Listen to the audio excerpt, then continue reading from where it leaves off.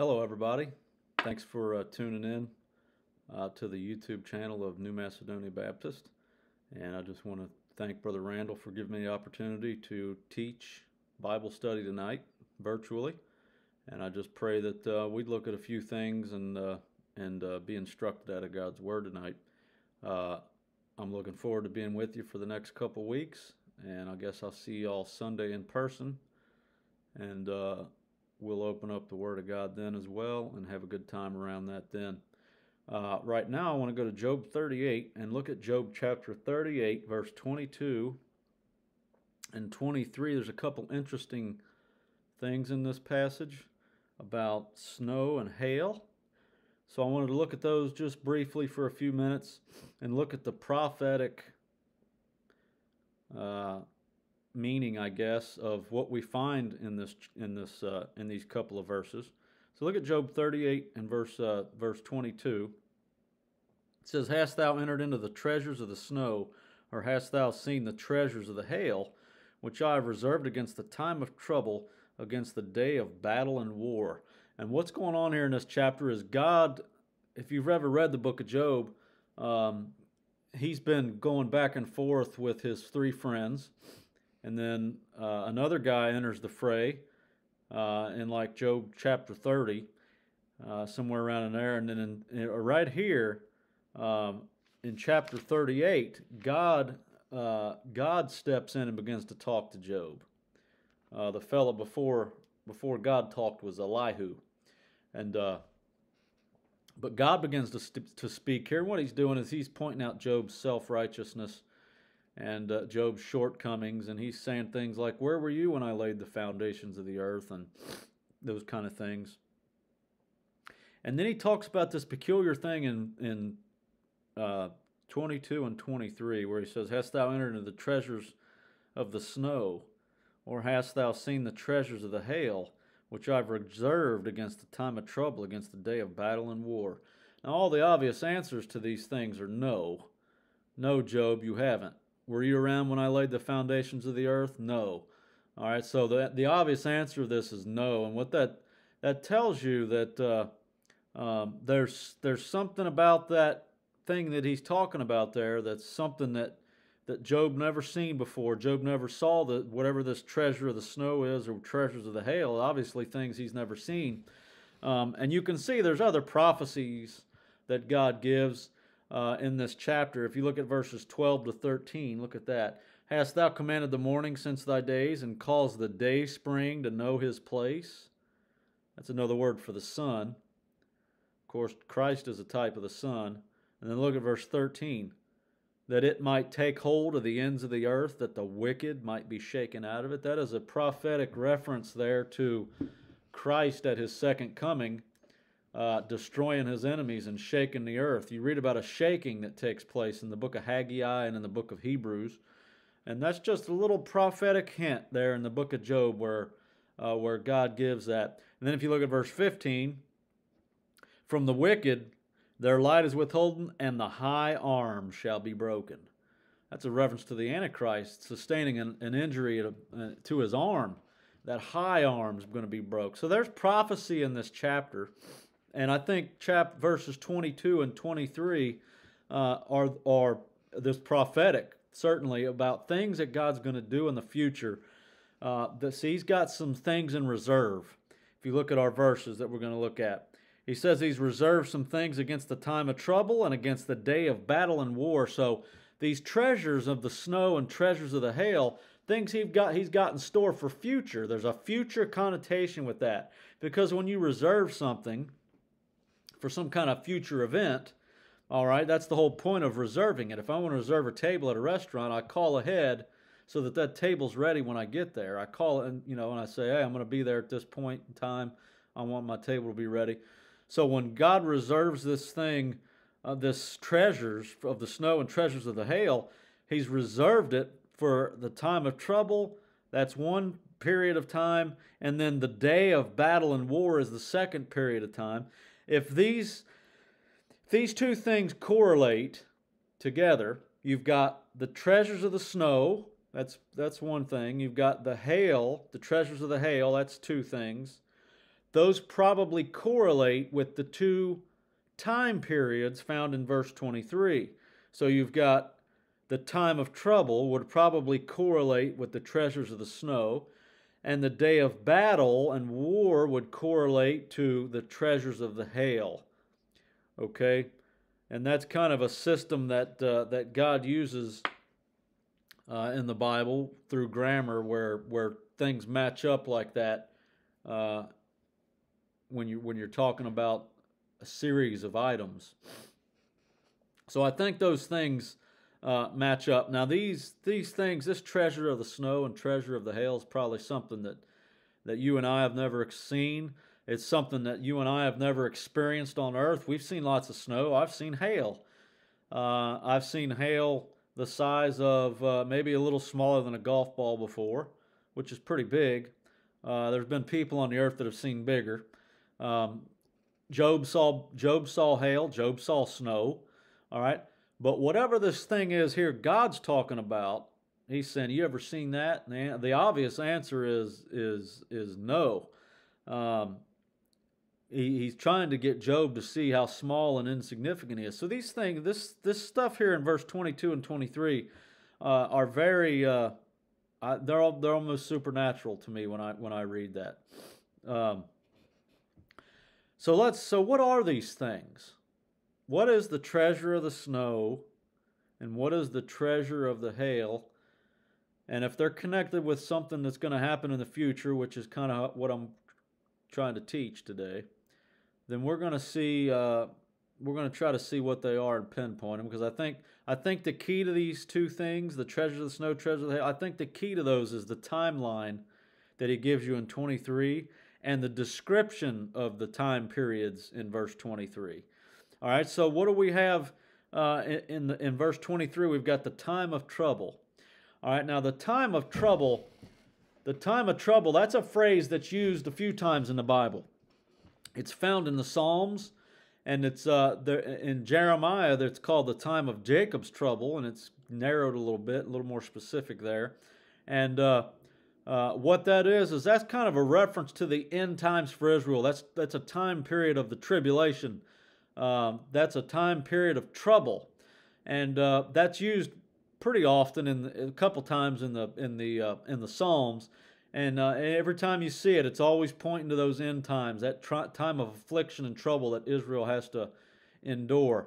So, if that is what that is, and that's kind of how you're supposed to study the Bible, you're supposed to study the Bible with, you know, Scripture with Scripture, and comparing things spiritual with things spiritual. So, the time of trouble all right, is that that's not a reference to uh, to us right now in 2022 under the Biden administration or something like that. Although that we are in troublous times uh, right now, and and you know with all the wars and stuff going on. When you read about the thing in the Bible, though, one of the ways God teaches is through is through keywords and phrases, and He'll use certain phrases in the Bible and certain keywords, and He'll use them on purpose so that you can connect them when you're reading the Bible. So you see the phrase time of trouble, you can go find it somewhere else and you get some light on what, what that thing is. So this this stuff is the, the treasures of the snow looks to be reserved against the time of trouble. So there's some kind of thing that's going to happen with snow. All right, that's going to be used during the time period of the tribulation. Now, come over to Jeremiah 18 and look at Jeremiah chapter 18. If you recall, when Israel was coming through, they came out of the land of Egypt, and when they come out of Egypt, you know, they, they went through a couple dry spells where they didn't have anything to eat and they didn't have anything to drink. And of course, when, when, when Israel needed to eat and drink, God provided food for them miraculously. And what he, what he provided for them miraculously was he told Moses, go, go, go take your staff, go hit that rock, hit that stone. And when that stone, when he hit that stone, water came out, and they were able to drink that water. Then he brings them this stuff called manna. All right? And manna is an interesting thing in the Bible, and, and manna was a miraculous feeding. And it was it's called manna is called corn.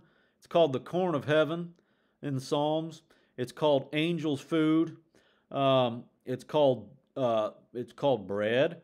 Uh, they made cakes out of it, but the stuff fell out of the sky and landed in the camp, and they had to go collect it up. Now that's some int- the manna is interesting. It it comes.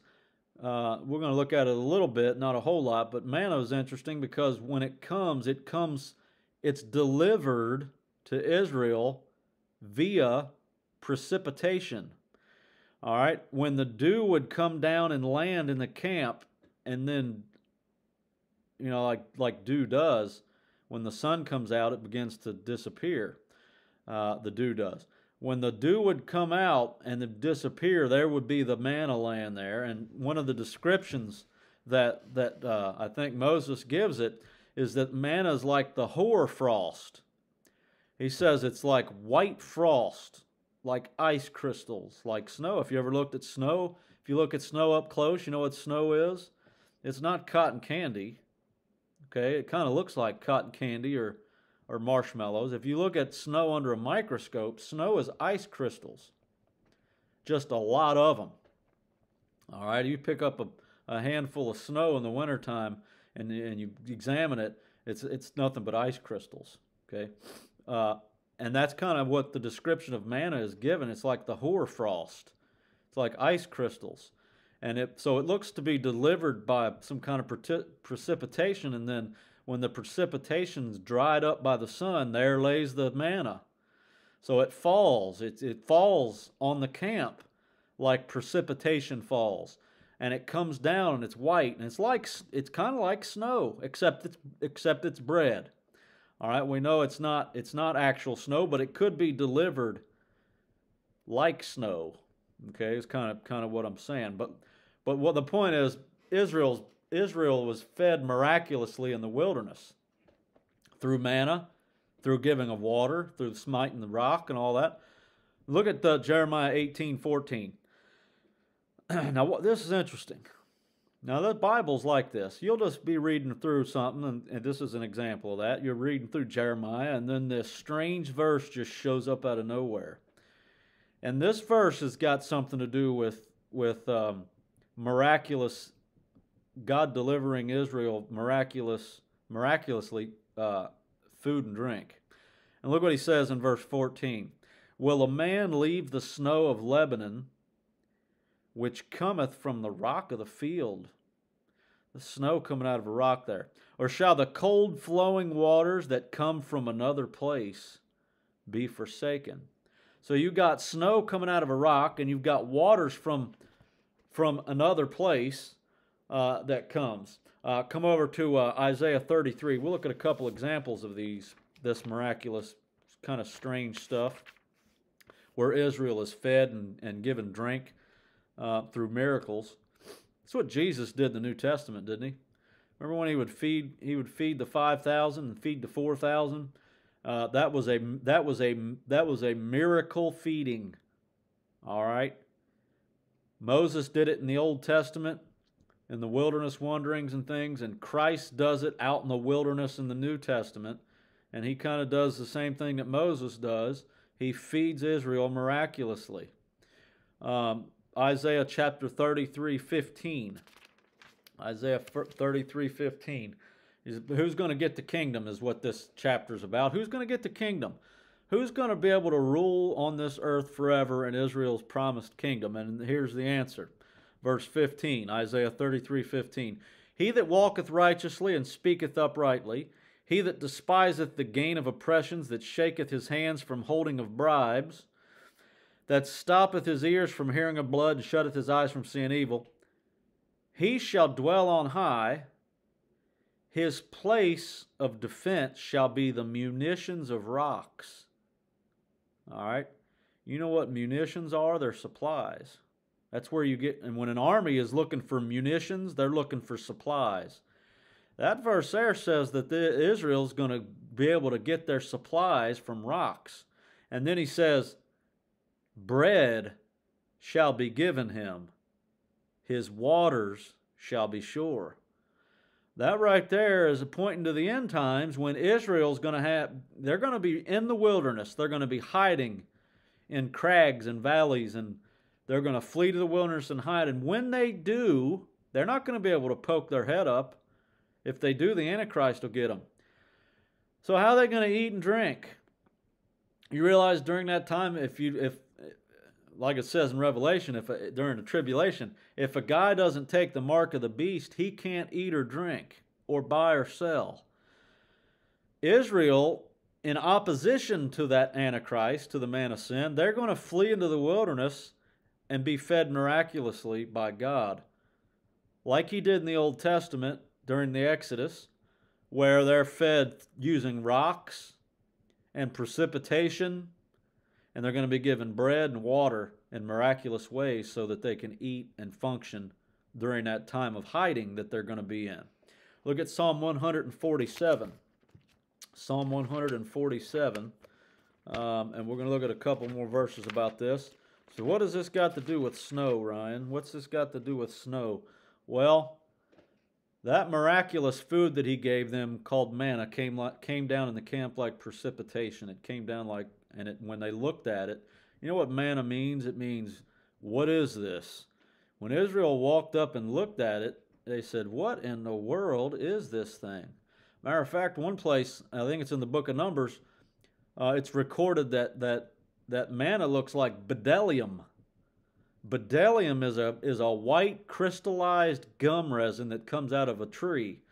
And uh, when, when they didn't know what it was because it was a unique, manna's unique. It's what is this stuff? It was, not, not, it was like nothing they ever ate, nothing they ever saw before.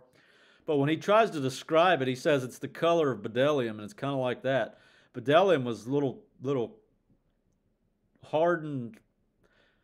If you can think of something, think of like a a tree that oozes out sap, and then when that sap comes out, it gets hard, right? That's kind of what bdellium is. Bdellium is a is a is a white sappy stuff that comes out of a tree and it gets hard and crystallizes. And it looks like it kind of looks like rock candy. If you've ever if you want to Google it or look and look at it, bdellium does. All right, and when when it's described of what what does Moses um, when he describes that in the book of Numbers, he says that is kind of like kind of like bdellium. Uh, Psalm 147, verse 15. He sendeth forth his commandment upon earth, his word runneth very swiftly. He giveth snow like wool. He scattereth the hoarfrost. That's what Moses said that the manna looked like, hoarfrost. He scattereth that like ashes. He casteth, look at this, it's interesting. Look at this, connected with food. He casteth forth his ice like morsels. Who can stand before his cold? You know what a morsel is? A morsel's something you eat. Now you say I don't I don't you're making too much of that, Ryan. Well, those little things are thrown in the Bible so that you can make the connections. All right, so what do we got? Well, we got we've got a thing in Job where we started where it says that that uh, uh, the treasures of the snow are reserved for the time of trouble. It's reserved for a future event called the time of trouble. So there's something that's in snow. When that snow comes down, there's something in that snow that's considered a treasure. Okay? And God, it's a provision that God is going to provide for Israel during the time of trouble. And it comes down and they can actually eat it. And it's manna and it comes like hoarfrost, and it's cast forth like ice, and it falls like ice, and it falls like snow, and it's considered like Psalm 147 17. He casteth forth his ice like morsels. All right. Two more places. Look at Micah. Micah, the book of Micah, chapter 7. All right.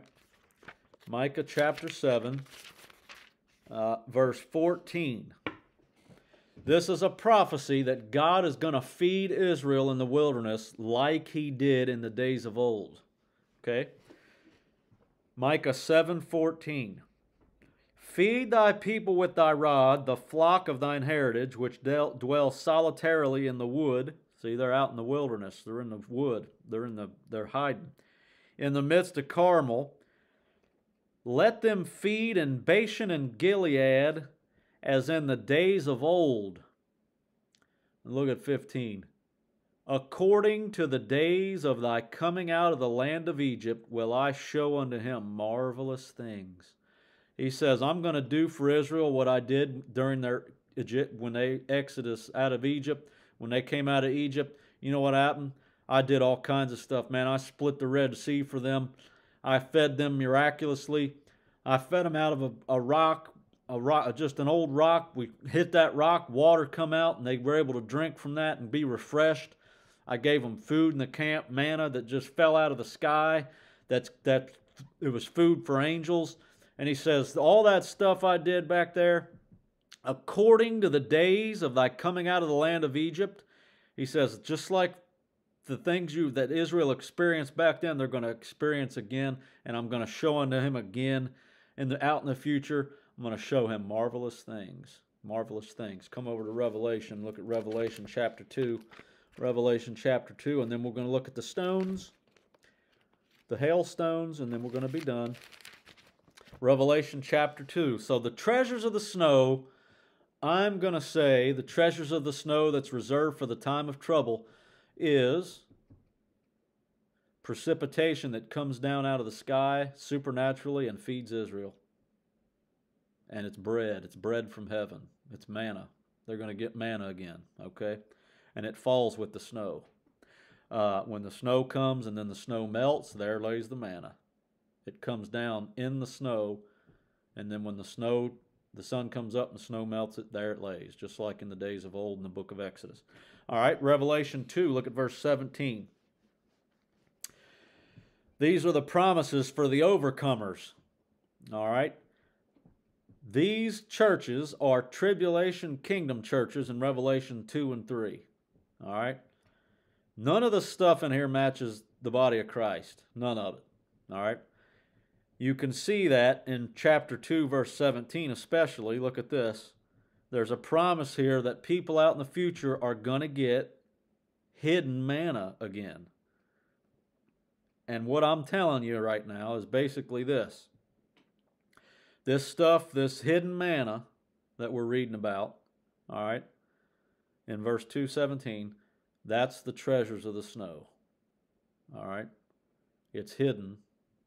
It's hidden in precipitation. It's hidden in snow, just like in the book of Exodus when it would come down with the dew. All right, with the hoarfrost.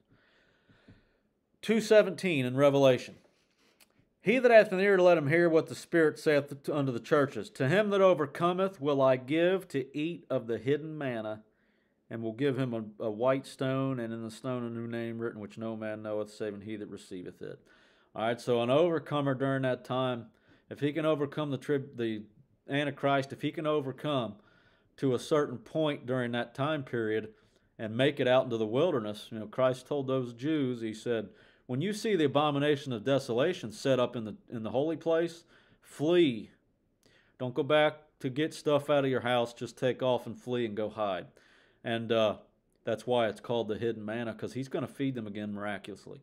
So that little thing, that little nugget there laying in the book of Job in chapter 38 about the treasures of the snow reserved against the time reserved against the time of trouble.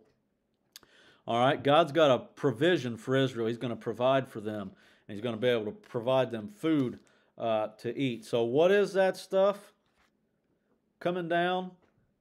That stuff is snow wrapped bread or ice wrapped bread that falls for them and they can go pick it up and eat it.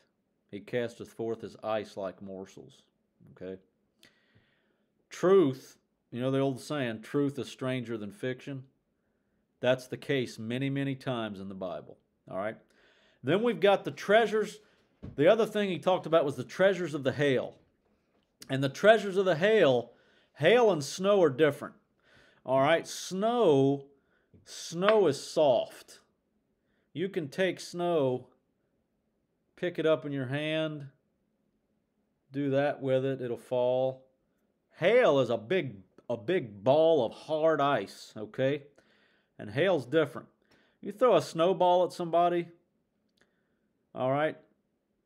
I mean, if you pack it tight, you might hurt them, but typically a snowball doesn't hurt when you get hit with it You throw a hailstone at somebody, you're going to knock them out. I mean, they're going to be they're going to short circuit and they're going to have to, you know, get the smelling salts out or something if you club somebody with a hailstone. So, hail, hail and snow are different. That's why they're distinct in that in our verse in Job 38. The treasures of the snow is different than the treasures of the hail. All right, the treasures of the snow is reserved um, for the time of trouble. The treasures of the hail is reserved against the day of battle and war. Okay, now come back to Joshua, uh, ver, uh, chapter 10, back in the Old Testament. Joshua, uh, Joshua chapter 10. So the day of battle of war, the day of battle and war, all right. Whereas the treasures of the snow is probably a provision and it's probably a uh, something that they can eat and sus- it helps sustain them. This this treasures of the hail looks like to be a uh, a weapon used in battle. And that's not uncommon for God to do. All right, He's done it before. He did it in the book of Joshua. Look at Joshua chapter 10. Uh, look at verse, uh, let's start in verse 8. All right, Joshua 10 8. And the Lord said unto Joshua, Fear them not, for I have delivered them into thine hand. There shall not a man of them stand before thee. Joshua therefore came up, uh, came unto them suddenly, and went went up from Gilgal all night. And the Lord discomfited them before Israel, and slew them with a great slaughter at Gibeon, and chased them along the way that goeth up to Beth Horon, and smote them to Azekah and unto Makkedah.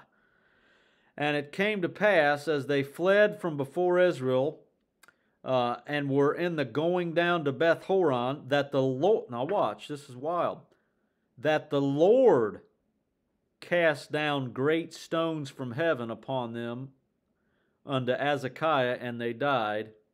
Now watch. Look at what kind of stones these are. All right. The end of the verse. They were more which died with hailstones than they whom the children of Israel slew with the sword. So what do you got there? Man, you've got Israel's enemies. What do you got? You got God, God, the Lord personally casting down great hailstones on them and given Israel a military victory through the bombardment of hailstones. Okay? So when we read about this prophecy, this prophetic nugget, this hint over there, that where God says, Hey, Job, Job, do you know anything about the treasures of the hail, the treasures of the snow? The obvious answer is no, you don't. All right. And he says, I've reserved it against the day of battle and war. God's got a he's got an he's got an artillery um, cache cache of hailstones that are reserved to be used out in the future. All right, in a military way.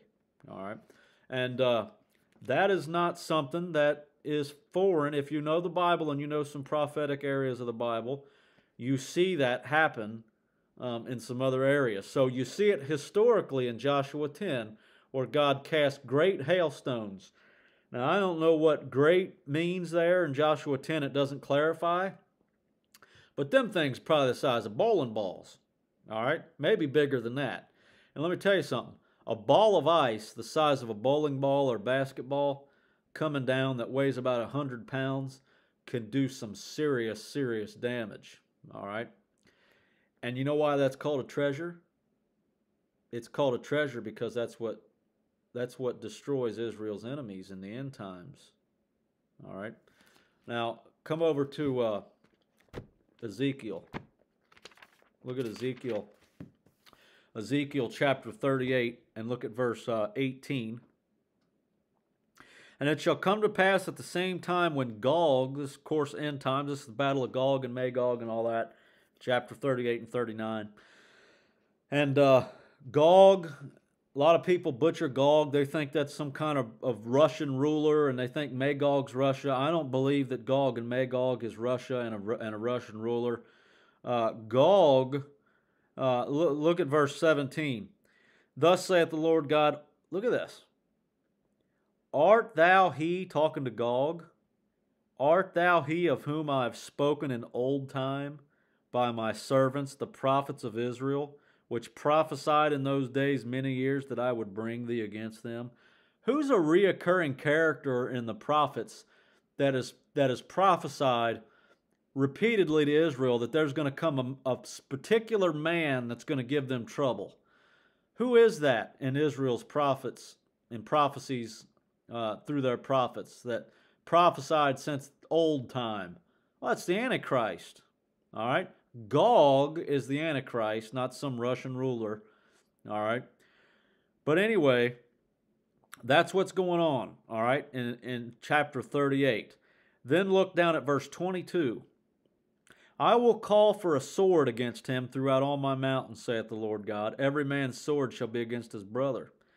And I will plead against him with pestilence and with blood, and I will rain upon him and upon his bands and, uh, and upon the many people that are with him an overflowing rain and great hailstones, fire, and brimstone. There is a future instance where God sends down a bombardment and an artillery fire using hailstones. All right. He did it in the time of Joshua. He's going to do it in the end times uh, with the armies of the Antichrist. And then look over, of course, at uh, uh, Revelation 16. Not too many people pick up on the one in Ezekiel 36 about the hailstones, but a lot of people know about this one in Revelation 16. Look at Revelation chapter 16, verse 21. Revelation 16, 21. And there fell upon men a great hail out of heaven, every stone. Now, here, here we actually get a glimpse into the, uh, the size and weight of these hailstones that God's going to give during the tribulation. All right, and these things are about a talent. Them suckers weigh anywhere from, depending on what you believe a talent is, a talent can weigh anywhere between 75 and 150 pounds. Now that is a that is a stinking heavy ball of ice. All right, you don't talk about smashing a car or smashing a tank. You get one of those flying through the through space and then down through the atmosphere about a thousand miles per hour and hit you know what what happens if that would hit a person? It would they'd disintegrate man. They'd vaporize. There wouldn't be nothing left. It would totally destroy a tank. It would totally destroy a car. Totally destroy a building. And uh, that's what it said. And there fell upon every man uh, i'm sorry and there fell upon men a great hail out of heaven. Every stone about the weight of a talent. And men blasphemed God because of the plague of the hail, for the plague thereof was exceeding great. All right, now God's going to use hail. The point I'm trying to show you there is God's going to use hail, and He's going to use uh, He's going to use they're they're called hailstones. Now our text over there in Job says the treasures of the hail, and there's going to come a time when God uses hail, all right, to bring forth some military victories and to bring forth some some strikes against the wicked of the world that are that are running things, the wicked armies during the, the tribulation period and during the end times. And those hailstones are big stones of ice. That's what hail is. All right. Um, when you think about how many times in the Bible God uses stones, all right, as a tool of judgment, Okay, you, you're going to see that fairly often. Um, when when some under the law in the Old Testament, when a man would commit a grievous sin like adultery or murder, what was God's choice of judgment that was supposed to be imposed on that individual? He would tell him, stone him with stones. God's choice of judgment just seems like a lot of times is stones. Um, you think about David. You know what David used to bring down Goliath? He used a flying rock. Okay? He, you know what? When you stone somebody, when if, if an adulterer or murder or something happens, somebody commits that, you know what, what gets them? A flying rock gets them, a flying stone. All right, so that the all that stuff, the, the, you know, stoning somebody with stones, David using a stone and cracking Goliath in the head, who's a type of the Antichrist, a type of Israel's enemy that gets brought down uh, by by a stone, a smooth stone, and all that. Uh, that is all. Those are all. You know. You know what. You know what. You know what. Uh, you know what Psalm seventy eight says. Psalm seventy eight says that that the whole Old Testament was a parable. In other words, a parable is not a made up story. A parable is something par- parallel. That P A R A at the beginning of it. It's a parallel. All right, a parable is a story that runs alongside and is parallel to another story. That Old Testament is a parable, all right, of something that's going to happen in the future uh, with Israel. That's why a lot of the stuff that happens in the Old Testament is going to be repeated in the future with the with the manna and the coming, the Exodus and the fleeing into the wilderness and the the parting of the Red Sea and the going over Jordan and the and the the stones and the stoning people and the thing with David and the stones and all all that stuff is all significant and all has a point and a purpose to it. It's not just randomly thrown in your Bible. Um, and and this thing about flying stones, all right, is interesting because look, if if you come back to Daniel, look at look at Daniel, look at Daniel chapter uh, Daniel chapter two. And in Daniel 2, Nebuchadnezzar has this dream about this image. And I'm not going to teach about the image, but I just want I just want you to see that what these are is the Gentile nations that are going to rule over Israel during the times of the Gentiles. And uh, these things are, are relayed and interpreted as being a head of gold, uh, breast and arms of silver, belly and thighs of brass, legs of iron, feet part iron, part clay. And that's in verse 32 and 33 in Daniel 2. Look what hits those that image. It is that something strikes that image and brings it. Something strikes those Gentile powers and brings that brings that image down, brings those powers, those Gentile nations down, brings them down. And uh, that is in verse 35. Look at look at Daniel 2. Uh, I'm sorry, verse 34. Thou sawest till that a stone was cut out without hands, which smote the image upon his feet that were of iron and clay, and brake them to pieces. You've got a stone hitting that image.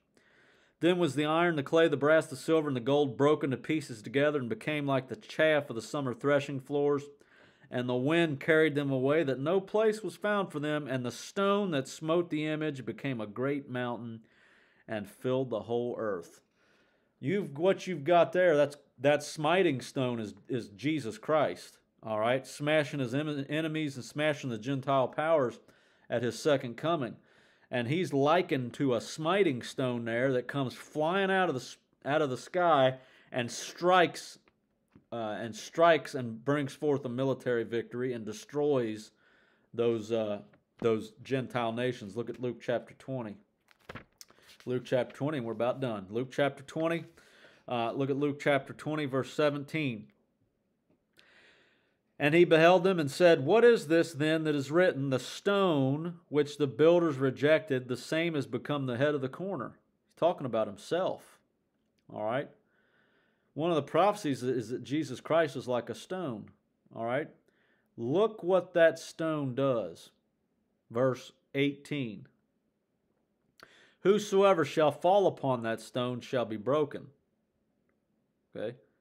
But on whomsoever it shall fall, it will grind him to powder. You've got a falling, flying rock, a falling, flying stone there that's grinding people to powder. You better make sure that uh, you're on the same side as the stone because you don't want to be you don't want to be the recipient of Jesus Christ the the uh, the smiting stone. It doesn't roll and get them. It falls choom, and gets them it's in an elevated position and and comes down and gets them now those two those two treasures the treasures of the snow and the treasures of the hail I think our prophetic things about the end times, the treasures of the snow are provisions, it's manna, most likely, that falls with the snow, and Israel is able to collect it up and eat it. And then, of course, the treasures of the hail is when God rescues Israel and helps Israel militarily during the end times by bringing hail out of the sky, and that's why it's likened to, to treasure. So it's not a provision, it's a it's military assistance during their time of need in the day of great battle and, and great war. Now, close with this. Snow is soft, and snow, that was the first thing we taught treasure of the snow, treasure of the hail. Snow's soft and enjoyable. Kids like to go out and play in the snow, all right? When it's snowing, people like to go out, stick their tongues out, you know, catch snow on their tongues. Listen, if there's if there's hail falling the size of golf balls around here even, you don't go out and open your mouth. You know what'll happen if you go outside and open your mouth in a hailstorm? It'll knock your teeth plumb plumb out of your head. All right? So what I'm saying is snow is soft and typically enjoyable and hail hail is typically connected with judgment and hail is hard. Okay? And I think I think there's also something there kind of a parallel too with with Christ's comings. At his first coming, he was meek and lowly and soft, like snow. At his, you know what manna was? It was bread from heaven. You know what Jesus told them at his first coming? He says, "I'm the bread from heaven. I'm, I'm the bread from heaven," and he fed them miraculously in the wilderness at his first coming. All right. So at the at his at his first coming, he comes like bread and he comes as a person that feeds, all right, and that provides sustenance and gives provisions. His second coming, he's not like snow and he's not like manna and bread. He's not coming to offer anybody anything to eat at his second advent. You know what he's coming? He's coming to smite. He's coming to tear things up and destroy, and that's what hail does. So at the second coming, at his first coming, he's like snow and manna and bread from heaven. That's what he said about himself in John chapter 6. He said, Moses didn't give you the true bread from heaven. I'm the true bread from, and he likens himself to manna. Okay? So the manna and the snow and all that, and the hoarfrost connected with his first coming, and the hailstones, and the stones, you know, flying out of the sky and striking things, is a picture of his second coming him as the great smiting stone. And just like anything else, when you see stuff in the Old Testament that's that is a shadow of something in the future, more often than not, it's got to do with Jesus Christ, and it's some kind of shadow and picture of something that represents Him um, at His comings, and Him uh, fulfilling His purposes uh, out in the future or at his first coming that we know about in Matthew, Mark, Luke, and John. All right. The treasures of the snow and the treasures of the hail. Truth is stranger than fiction. And uh, there's a lot in that Bible, a lot of interesting things. And uh, maybe next time it snows, even though we're, we've got spring, next time it snows or hails, you think about that for a minute and say, oh, treasures of the snow and the treasures of the hail. I remember that back in Job 38. All right, thanks for for uh, tuning in to Bible study uh, tonight, and I appreciate all y'all. And I will see you guys Sunday morning, Lord willing. Let's close in prayer. Father, thank you for your word. Thank you for your book. Thank you for the opportunity, Lord, to do this virtually, for the technology to be able to do it. And I pray, Lord, for all the folks at New Macedonia Baptist Church, and I pray that we'd have a good service Sunday. And I pray you'd bless it in Jesus' name. Amen. Thank you.